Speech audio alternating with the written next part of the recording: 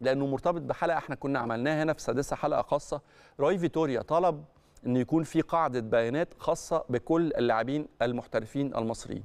وأنا بفتكر الحقيقة ومن الممكن جدا إن إحنا نرجع لمكتبة القناة وممكن جدا يعني يعني ممكن حتى نعيد الفقرة مرة تانية لأنه إحنا الحقيقة فردنا ملف مهم جدا هنا في السادسة لعدد كبير جدا من اللاعبين المصريين الواعدين مزدوجي الجنسية الموجودين في أندية وفي دوريات أوروبية وأعتقد إن إحنا شفنا منهم إن هم ممكن يكونوا عامل مهم جدا في خروج الكرة المصرية أو المنتخب الوطني المصري يعني من النفق المظلم. وطالبنا الحقيقة في فترة تولي كيروش إن يكون في تواصل جدي معاهم سواء من قبل المسؤولين عن الاتحاد أو قبل المسؤولين عن المنتخب الوطني ولكن هذا لم يحدث. فاصل